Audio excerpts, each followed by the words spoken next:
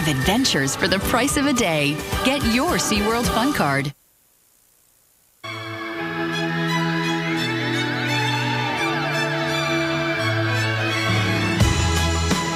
Looking live right now, downtown Los Angeles. And oh, you know, about a quarter of an inch of, of snow. Big Bear, by the way. That was we just got that in. Cool thing happened less than an hour ago at LAX. Very interesting thing. A plane carrying two huge concrete boom pumps. It took off at 5 o'clock this morning. Take a look at the pictures just in here. En route to Japan. Mm -hmm. The 190,000 pound pumps will be used to help cool the Fukushima Daiichi nuclear power plant. They have an ex extendable boom that can reach more than 200 feet and can be operated by remote control, making it easier to shoot water into hard to reach places. And right now, only one pump is being used at the plant. So All it right. sounds like they could really use this. Yeah, they, they, need that big stuff. There's only a few of those machines in the world. Uh, we have heard plenty over the past few weeks here, of course, about the effects of the radiation. And could it be felt here in Southern California is a question everyone wants to know. Sure, and, and with the rain, as he was just saying, we've been experiencing, we're wondering if any of it has been radioactive or could it be radioactive in the future? So joining us now via Skype is nuclear physicist Kai Vetter. Kai, thank you so much for getting up so early and joining us. And hopefully hopefully you can help us uh, answer this question that's been on everyone's mind. The rain here in Southern California, are we going to have, is it going to be radioactive? First of all, good morning. Um, and uh, according to the measurements we have been doing for the by now more than three weeks, uh, yes, we do see some uh, nuclear materials and radioactive materials uh, which are being have been released uh, by the Fukushima uh, plant in Japan. So yeah, we have been seeing that, and we expect uh, to uh, continue to see that. Now, from, now, uh, should we be concerned? Is it at levels where it could affect adults or our children? Uh, I don't think so. Uh, actually, as a matter of fact, I don't think uh, at all that there will be uh, any health effects. The amount of radiation we see here from Japan, we have been seeing at the beginning, are already very small, have been very small. they are declining, and even the next rain, we expect, um, even though it might be slight increases compared to without the rain, uh, still much smaller than what we have been seeing three weeks ago, um, and so therefore uh, no harm uh, expected. Well, a lot of people relieved to hear that. Yes, I think so. Us too. I mean, we all uh, were uh, curious from the start uh, for well two reasons. One, uh, uh, scientifically interested to study the, uh, the, kind of the pathways of these materials from Japan to here. just the fact that we see it here is very interesting, mm-hmm. and then the, to the path the pathway in our environment, how these materials actually are transported and di- and and dispersed in our environment. Well, we are but, so then, appreciative to get your expertise on this. You've of course worked with the esteemed group uh, there at the Lawrence Berkeley uh, National Nuclear Lab, and, and we thank you for getting up so early with us and explaining that. So we do have, uh, thank you very much, Kai. Appreciate it. You, you're we welcome. do have some radiation in the rain, but they say at levels that we do not have to worry about. Yes. Thank goodness. Uh, yes, I know we're moving right along. We have uh, been talking about this a lot, mm -hmm. what's been happening over at uh, Dodger Stadium, that violent attack. And we're going to be talking about two violent crimes that have two families crying for justice. One, the search continues for two suspects who beat a Giants fan at Dodger Stadium while family and friends remember the one-year anniversary of Monica Beresford Redmond's death in Mexico. It's a story we've been following closely. I was down in Mexico, down, yeah. yes, last May, and I can't believe it's already the year anniversary. It was just, just uh, two days ago here, I believe. So here this morning to talk with us about the legal implications of both of these cases, Attorney Alison Triessl, thank you so much thank for being here. Oh, good to see good you. To Thanks see for you. Getting up so early. My Can I ask about the Dodgers uh, first? Anyone looking at this, I think will say the Dodgers have not particularly reached out a lot to the victim's right. family. Uh, City of Los Angeles hasn't really reached out very much. Is that because they're fearful they're going to get sued? And if so, can that happen? Yes, they can get sued. The Dodgers can. They, they own this property. It's a very vast land. It's like 352 acres of property. And they had a duty to protect this person. You know, was this foreseeable? Well, a beating like this, I don't know if it was certainly foreseeable, but these are their rivals. These are the Giants. Mm-hmm. The crowd at Dodger Stadium as of late has gotten a lot rougher. Mm-hmm. Um, families tell me all the time, you know, we're worried. We're worried about bringing our kids. And so they certainly should have th this was a question of security and safety. Mm-hmm. And was this fan protected? Mm. Um, you can't stop all things, and there are horrible acts of violence, but there should have been more security in the parking lot, no question. Okay. Yeah, we've been hearing on the radio, the cousin's been speaking out saying it took at least 15 minutes for security to even get there when they called. Now, everyone's been, city officials been begging these two men, the suspects, turn yourselves in. Is it more beneficial to them to turn themselves in? Will they get any kind of leniency or they probably won't. But mm-hmm. what I think is money talks. And when there's a $150,000 reward, mm-hmm. somebody's going to turn them in. You look at those two guys, and I disagree with you. I will not call them suspects. I call them cowards, call them thugs criminals. Uh, they're not a suspect of anything. Anyone who attacks a firefighter, a father of a, of a child, uh, a hero from behind, who hits someone from no, behind? No, it's senseless. Yeah. I mean, there, there is no reason for this kind of violence. Mm-hmm. I mean, this, this is outrageous but they will, I don't believe, because they're cowards, I don't believe they'll come forward, no. but I do believe that somebody close to them mm -hmm. will turn them in. Okay, and, and, you and I have been working closely for the past year, uh, just touching on the, uh, the Monica Beresford Redmond story. It's, I can't believe it's been a year.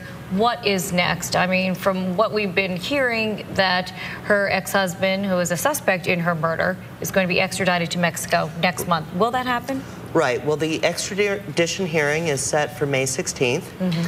And um, a judge will make a decision whether or not he should be extradited. The standard is very low. It's not beyond a reasonable doubt. It's probable cause to believe that he was involved.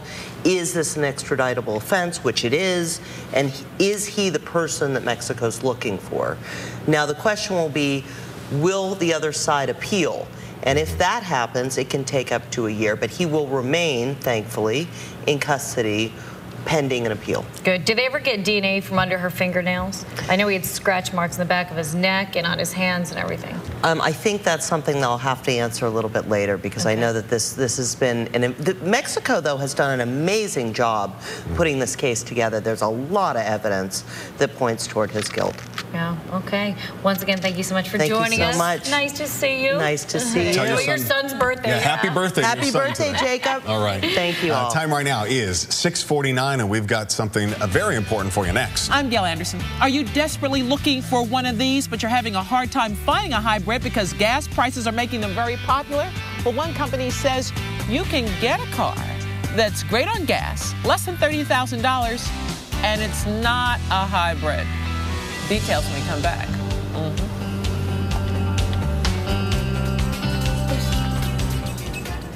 For the day's top stories. California's community colleges facing serious funding cuts. Breaking news in Southern California. We're going to show you exactly what happened. And complete weather updates. Nothing but sunshine. Turn to KTLA 5 News, weeknights at 6 and 10.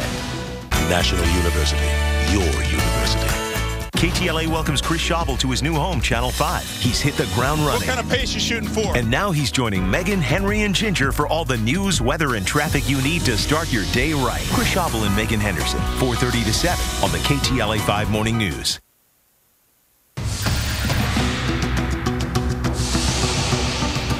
If the rising gas prices are getting it down, Gail Anderson has some suggestions. You don't have to own a hybrid to save money. These five domestic and imports all have something in common. They are just as economical as the popular and more expensive hybrids. The Chevy Aveo, the GMC Terrain, so we got an SUV in there, and we got the 2011 Jetta Sport Wagon in there. And all of these vehicles achieve 30 miles per gallon or higher. And that's not all. The NADA guide says there are two more imports that are great on gas and cost a lot less than uh, one of these. One for about $15,000, the other for about $13,000. mm-hmm. The Kia Soul, which is a neat little crossover vehicle from Kia. We got the Nissan Sentra in there. They're loaded with features that typically only come on luxury vehicles, and they're all under $30,000. Troy sure is sure of his information. That's because his research is available to all of us at his company's website, nadaguides.com. NADAguides.com is a vehicle pricing and information resource, and it's actually the largest publisher site out there for vehicle information. The guide is becoming an important consumer vehicle buying tool because of rising gas prices and the destruction in Japan and their inability to provide continuous power and energy to manufacture facilities. These are the facilities that actually build the cars, build the parts for the cars, and in some cases build the pigment for the paint that go on these cars. At the moment, there's no shortage of these five fuel efficient finds. But now that you know what Snyder knows, there might be fewer due to more consumer wheeling and dealing. In Irvine, Gail Anderson, KTLA 5 News. I needed more fuel efficient car. Mine was 70 bucks to fill up the other day. It hurt. Yeah, and they're getting better and better looking. There's, mm-hmm. you know, there's some nice models out there, so that's good to see. We'll be right back after this.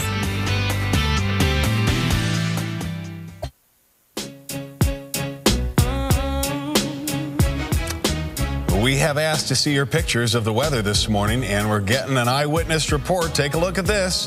Where's it from? It's from nice folks, Leo and Wendy in Beaumont, right over there by Bannister, east of uh, Moreno Valley. Was that frozen? Take a look. We got three inches of snow oh, overnight, snow. they say. Okay. Look at that. It almost looks like ice on that yeah. tree. All right, so, of course, everyone wants to know when is that snow going to go away, or is there more cold weather on the way? A couple more flakes. Uh, Frazier Park, the mountains north of Los Angeles here, uh, and even uh, even areas around Valencia up in the mountains. We'll see just a quick little dusting, I say, around 10, 11 this morning. Okay. And maybe a sprinkle here and there in Orange County this morning. Once we get past 9 a.m., the drama is over, and we're set for a, a, pretty nice day. Okay, so you could go sledding today with the family up in Frazier Park if you wanted to, yes? Or not enough? That's, that may be what you do. I, I like to sit, have some chili. Oh, come on. You got to get outside a little bit. I love that you like steak. I so appreciate that you're an actual meat eater. You're a, meat and potatoes kind of mm -hmm, gal. Mm -hmm. Yeah. What can I, I love, say? I love that. All right, well, it's always great to catch a movie on the weekend, and there are some new ones out there, including Arthur. That's that funny movie starring mm -hmm. Russell Brand and Helen Mirren. And if you're up for something intense, you can check out the new thriller Hannah. Or there's Soul Surfer. That's that movie about the brave young surfer Bethany Hamilton who oh. didn't let a oh. shark attack keep her from her favorite sport. She fought back and became a champion again. Also out, Your Highness, starring James Franco and Natalie Portman. Coming up on the KTLA Morning News tomorrow from 6 to 9. Otherwise known as The Big Show. Tomorrow's the three-hour show. Three-hour. Get ready. Yeah. We're live from the Ronald McDonald Walk in Anaheim where thousands of people, they're going to be hitting the streets all for good cause, Chris. Mm -hmm. Also, another big interview you're doing here. I am, yeah. Later today, Pau Gasol we're going to talk to him. He's doing great stuff for the uh, the victims of the tsunami and earthquake right. over in Japan. And, oh yeah, Sam on Sunday. Sam Rubin, Skyping live, maybe from his bed, but definitely in a bathrobe. What on earth does he do on the weekends? And you, did, are you the one who talked him into it? Yeah. I figured. Uh -huh. ah, well, I told him he'd get to you. talk to you, so no one, no one says no to Mary Beth. Hey, anyone who's going to get up that early to talk to what us. What do you think? Thank you nice very job, much. Miss. You. Had a good oh, time. we have the the guys on from uh, uh, Good Luck Charlie from the Disney right. show. I know it's a real big mm -hmm. hit if you have children, so that's going to be fun too. We'll have these young, good-looking kids on tomorrow. All right, everyone, have a wonderful day. We will see you. Thank you so much for watching. Tell all your friends and family we need your support. KTLA Morning News.